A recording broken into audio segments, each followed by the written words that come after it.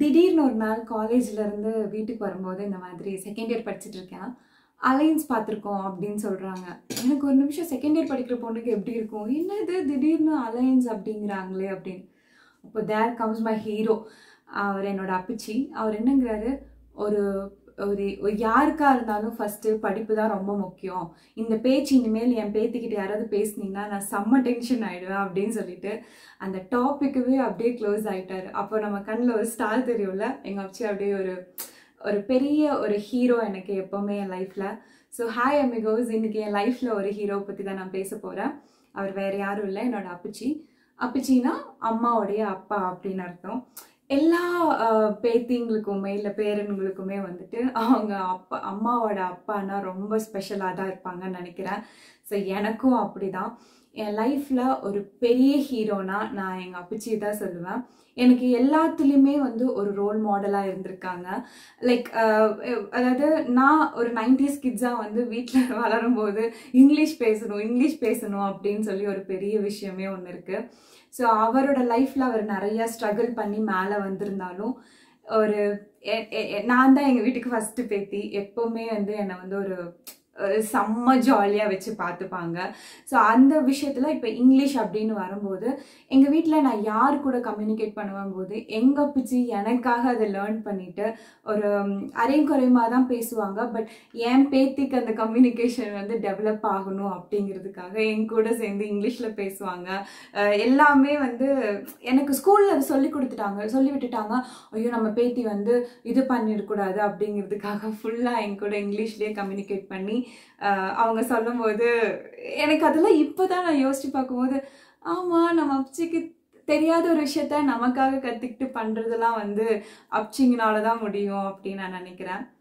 அப்படியே சொல்ல சொல்ல போகும்போது அப்போ நம்ம அப்படியே வளர்ந்துட்டு இருக்கோம் நம்ம லைஃப்பில் நம்ம சின்ன சின்னதாக ஏதாவது மேபி அச்சீவ் பண்ணியிருந்துருக்கலாம். இல்லை அச்சீவ் பண்ணாமல் கூட இருந்திருக்கலாம். ஆனால் நமக்கு அது சின்ன விஷயமா இருக்கும்போது என்னோட அப்பச்சிக்கு அது ரொம்ப பெரிய விஷயமா இருக்கும். நான் வந்து டுவெல்த்தில் மார்க் வாங்கினது ஆகட்டும் இல்லை டென்த்தில் வாங்கினது ஆகட்டும் எல்லாத்துக்கும் போய் வாண்டடாக ஃபோன் பண்ணி என் பேத்தி இவ்வளோ மார்க் வாங்கியிருக்கா என் பேத்தி இவ்வளோ மார்க் வாங்கியிருக்கா அப்படின்னு அவங்க சொல்லும்போது அவங்க கண்ணில் இருந்த அந்த ப்ரௌட்னஸ் அப்போ நான் என்ன நினச்சேன் அப்படின்னா தெரியல எனக்கு அது ரொம்ப இன்ஸ்பைரேஷனாக இருந்துச்சு. ஒரு சின்ன விஷயம் தான் நான் அவங்க இவ்வளோ பெருசாக கொண்டாடுறாங்களேங்கிறதுக்காக இன்னும் நிறைய நிறைய நிறைய எங்கள் அப்பச்சிக்காக பண்ணணும்னு நினச்சி நம்ம படித்த ஒரு விஷயங்கள். அப்படியே அது போய்கிட்டு இருக்கும்போது எனக்கு ஜாப் கிடைக்குது. ஜாப் கிடைச்சோடனே அவர்கிட்ட இருந்த அந்த சந்தோஷத்தை வந்து நம்மளால எக்ஸ்பிளைனே பண்ணவே முடியாது. ஒரு பத்து பேர்த்துக்கிட்ட என் டுவெல்த்து மார்க் சொல்லியிருந்தாரு அப்படின்னா ஒரு நூறு பேர்த்துக்கு கால் பண்ணி என் பேத்திக்கு வேலை கிடச்சிருச்சு அவள் வெளியே போக போகிறா அவள் எக்ஸ்ப்ளோர் பண்ண போகிறா அப்படிங்கிறதுக்காக சொன்னாரு. திடீர்னு ஒரு நாள் வந்து ஜாப் அந்த கிடைச்சதுலேருந்து ஃபோன் பண்ணி என்னங்கிறாங்க இந்த மாதிரி இப்போ உங்கள் பொண் பேத்தி வந்து கொச்சின்ல இருக்காங்க இப்போ இப்போ இனி வந்து பெங்கால் போகணும் அப்படிங்கும்போது வீட்டில் எல்லாருமே பயப்படுறாங்க ஐயோ வேண்டாம் வேண்டாம் வேண்டாம் அப்படின்னு. ஆனால் எங்கள் அப்பச்சி மட்டும்தான் பரவாயில்ல தாங்க. இது இதை விட நீ வந்து இன்னும் ஸ்ட்ராங்கர் ஆகணும் வெளியே போகணும் நிறைய எக்ஸ்ப்ளோர் பண்ணணும். ரொம்ப இண்டிபெண்ட்டாக இருக்கணும் கரெக்டாக இருக்கணும். அப்போ நமக்கு தேவையான ஒரு லைஃப் லெசனை சொல்லி கொடுத்ததுமே அவர் தான் மேபி அந்த லைஃப் லெசன் தான் இன்னியும் நம்மளை ரொம்ப ஸ்ட்ராங் ஆக்கி நம்மளை இன்னும் தூரம் ரன் பண்ண வைக்கிறதுக்கு ஒரு பெரிய விஷயமா இருக்கும்னு நினைக்கிறேன்.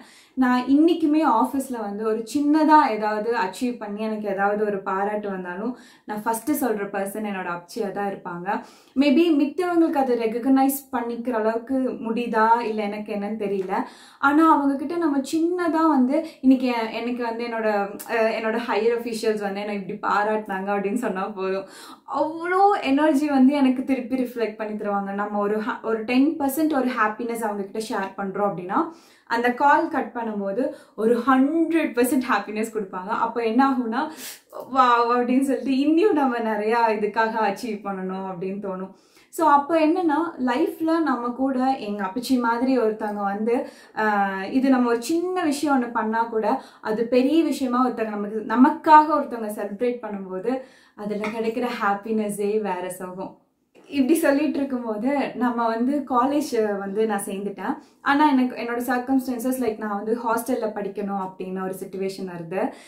எவ்ரி ஃப்ரைடே ஈவினிங் வந்து நான் கிளம்பி வீட்டுக்கு வந்துடுவேன் வீட்டுக்கு வர்றதுக்கு ஒரு minimum one one and half hours ஆகும். அதில் ஒரு மேக்ஸிமம் எனக்கு ஒரு டென் டு டுவெண்ட்டி டைம்ஸ் எங்கள் அப்பச்சி எனக்கு கால் பண்ணிடுவாங்க சாமி எங்கே வந்துட்டு இருக்க தங்கம் எங்கே வந்துட்டு இருக்க இப்போ பஸ் இங்கே இருக்கா? அவர் மைண்டில் கால்குலேட் பண்ணி பஸ்ஸு கரெக்டாக இந்த ஸ்டாப் வந்துருச்சா? அப்படின்னு சொல்லி கேட்பாங்க.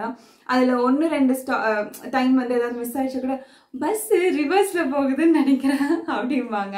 ஸோ எல்லா ஒரு விஷயத்தையுமே ஒரு பாசிட்டிவாக ஃபன்னியாக நம்ம பேத்தி எங்கேயுமே நம்ம ஹர்ட் பண்ணிடவே கூடாது அப்படிங்கிறதுக்காக ஒரு ஸ்டெப்ஸ் எடுத்து வச்சு நான் இன்கேஸ் என்னோட பஸ் வந்து ஸ்டாப்பிங்க்கு வந்து ஒரு ஃபோர் ஓ கிளாக் நம்ம வரும்னு வச்சுக்கலாமே அவர் த்ரீ ஓ கிளாக்கே பஸ் ஸ்டாப் வந்து வெயிட் பண்ணிடுவார். என் பேத்தி வரப்போகிற ஹாஸ்டல்ல இருந்து? அப்படின்னு சொல்லிட்டு.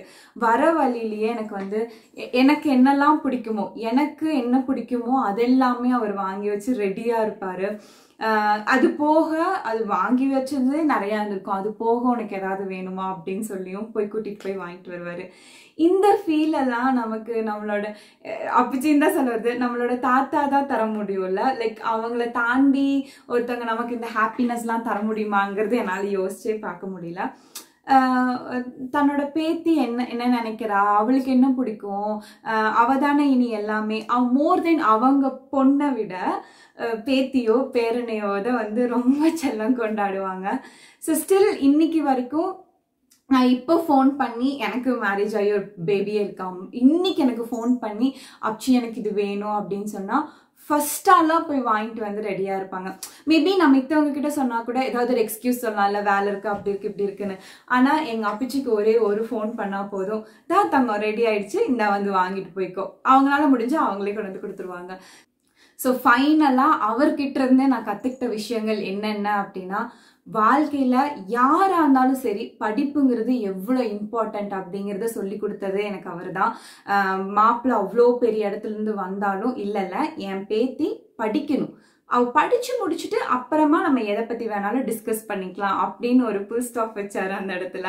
அப்போ education is more important than anything in this life இன்னொரு விஷயம் அவர் எனக்கு சொல்லி கொடுத்தது என்ன அப்படின்னா இண்டிபெண்டா இருக்கணும். எ- எந்த விஷயத்திலுமே யாரையுமே சார்ந்து இருக்காத. உனக்கு ஒரு விஷயம் தெரியலையா? அதை தெரிஞ்சுக்கோ. தெரிஞ்சு நீ அதுக்கு எப்படி பண்ணணும்னு நினைக்கிறியோ அதை பண்ணி எக்ஸிக்யூட் பண்ணு. இன்கேஸ் அது உனக்கு ஃபெயிலியர் ஆச்சா ஆச்சுனாலும் அதை பத்தி கவலைப்படாத. அது உனக்கு ஒரு லெசன் அவ்வளோ அவ்வளவுதான் அப்புறம் சின்ன சின்ன விஷயத்த கூட நீ செலிப்ரேட் பண்ணி கற்றுக்கோ நம்ம லைஃப்பில் இதெல்லாம் என்ன ஒரு பெரிய அச்சீவ்மெண்ட்டாக நம்ம நினச்சிருந்துருப்போம். மித்தவங்க அப்படி யோசிச்சுருந்துருப்பாங்க ஆனால் கிடையாது. அந்த ஒரு விஷயத்த நம்ம ரீச் பண்ணுறதுக்கு கூட நம்ம லைஃப்பில் எவ்வளோ ஸ்ட்ரகிள் பண்ணியிருப்போம். இல்லை அதை கூட வந்து நீங்கள் குட்டி குட்டி விஷயத்த செலிப்ரேட் பண்ணுங்கள் ரொம்ப என்ஜாய் பண்ணுங்க அப்படின்னு சொல்லி கொடுத்ததும் எனக்கு அவர் தான் இன்னொன்று வந்து என்ன அப்படின்னா லிவ் த மூமெண்ட் அந்த ஒரு நிமிஷத்துக்காக வாழுங்க. என்னை எல்லா பக்கமும் வந்து போய் கூட்டிட்டு போய் ஒரு ஒரு சின்ன சின்ன விஷயங்கள் அனுபவிக்க வச்சதும் எனக்கு அவர் தான் லைஃப்ல நமக்கு ஒண்ணுமே இல்லை. இனி நெக்ஸ்ட் வந்து நம்ம லைஃப்ல என்ன பண்ண போறோம் அப்படின்னு நான் நின்ன அந்த இடத்துல எனக்காக எங்க அப்பச்சி உன் லைஃப்ல த்ரூ அவுட் எப்பவுமே நான் உனக்காக நான் இருப்பேன். அப்படின்னு எத்தனை பேர் நம்ம கிட்ட சொல்லிட முடியும்ல? ஸோ எனக்காக இப்போ இப்போ வரைக்கும் இருக்க எங்கள் அப்பிச்சிக்கு ஒரு என்ன நன்றி சொன்னாலும் அது வந்து பத்தவே பத்தாது. வேர்ட்ஸ் நாட் பி டிஸ்கிரைப் லைஃப்பில் நம்ம இப்படி ஒரு பர்சனை நம்ம கூடவே இருக்கும்போது எவ்வளோ ஸ்ட்ராங்காக நம்ம க்ரோ ஆகிறோம் அப்படிங்கிறது நான் இங்கே கன்வே பண்ணணும்னு நினச்சேன். உங்கள் லைஃப்பில் இந்த மாதிரி ஒரு ஹீரோ இருந்தால் நீங்கள் கமெண்ட்டில் சொல்லுங்கள் எங்கள் பிச்சி எனக்கு always is my best best hero in this world thank you அப்சி and love you more நன்றி வணக்கம். என்னோட நெக்ஸ்ட் வீடியோவில் சந்திக்கலாம்.